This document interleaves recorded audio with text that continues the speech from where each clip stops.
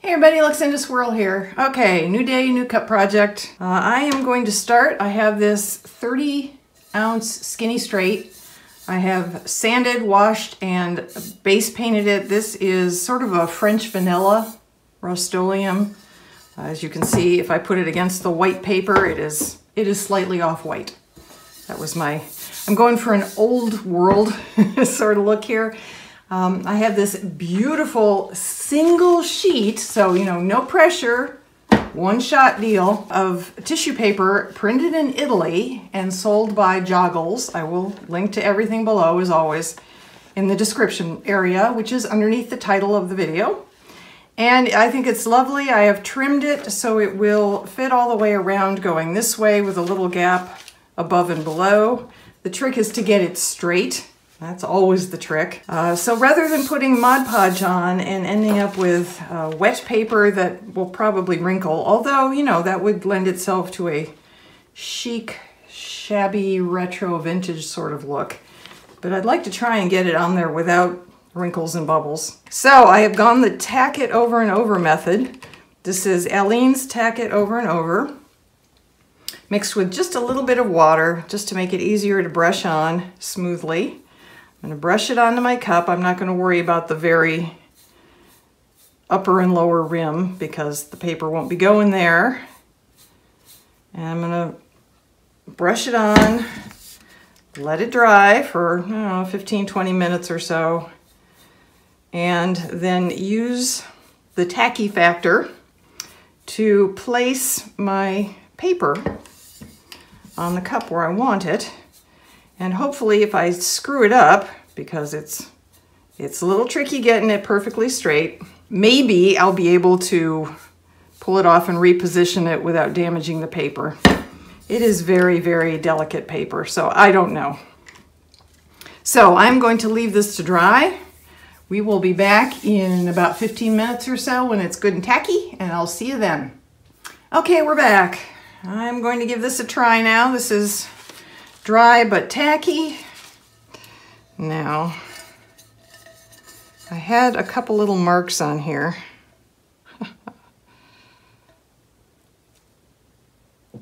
oh, look, a bug. Springtime. All right.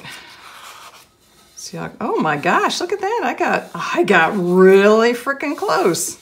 Hot diggity, I'll take it. I will take it. Look at that, ladies and gentlemen. I have this pretty butterfly washi tape. I could put that down there.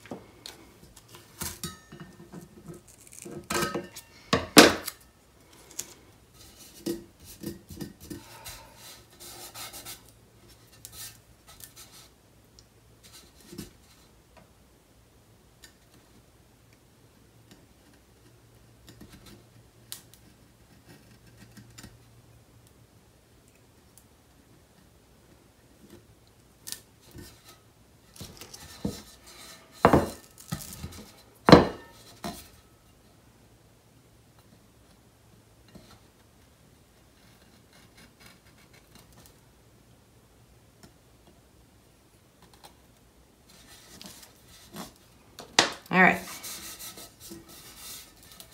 That is really pretty. Okay, now before I before I do anything else, take it outside and spray seal it. Okay, I'm gonna mix up, I have two 30 ounce skinny straights here. Each one could easily hold 20 milliliters. So I'm gonna mix up, I'm actually gonna mix up two ounces, 60 milliliters of epoxy resin. I'm gonna use liquid stone from KS Resin because I don't need anything but good coverage. And that is my go-to for good coverage. Going to mix in my Marabu Rainbow Alcohol Ink provides a little sparkle and I'm going to apply it and uh, we will come back and see how it looks when we're done. I may actually put some vinyl around the top and the bottom, maybe a strip of gold just to make it look snazzier. So sit back and watch the show.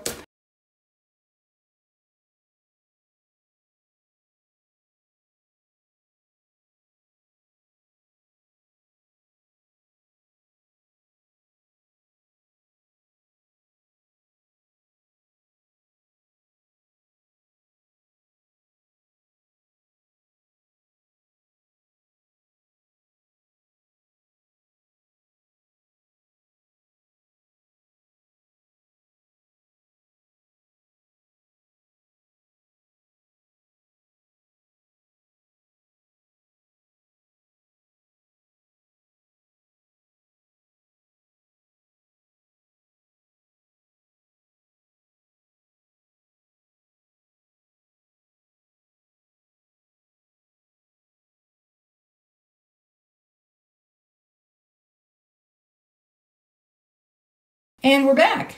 All right, I put about 20 to 25 milliliters of resin on this first layer. And uh, an interesting thing happened. I, I should have anticipated this, I guess, but I've never worked with this rice paper before. And I think you can see, if you look, uh, it's very, very, very bumpy. And I didn't expect that, but what what it is, is the paper is extremely fibrous in, it's almost, it's almost hairy. There are little, I don't, I don't think, even with a close-up, I'm not sure. Um, I'm not sure you can see it. I can, little hairs. I mean, really, it's paper fiber, but it looks like little hairs sticking up from the rice paper. So um, what I'm going to do is ever so slightly sand this with a very fine grit and see if I can basically just rub off the hairs that are sticking up and then put another coat of epoxy resin on it and it should be done. done. It should be fine at that point. I am not going to, I will offer this in my Etsy shop. It will be a one-off because these sheets of rice paper cost almost $4 just for one and you only get one on a cup and it's it. So I am not going to start stocking these incredibly expensive imported from Italy rice papers. Uh, so this will be a one-of-a-kind as far as my Etsy shop is concerned anyway. but I'll bring you back for the big reveal at the end after I do a little sanding of some hairy things off my cup. And uh, we will take a look at the finished cup at that time. So stay tuned. This turned out so gorgeous. I am in love with this cup. Look at that and how beautiful it is. The extra sparkle, the gold band at the top and the gold band at the bottom. Oh my gosh, I couldn't be happier with how this how this turned out. What a great gift for butterfly lovers, Mother's Day. Look, the washi tape strip even looks almost sort of like it belongs there. Oh gosh.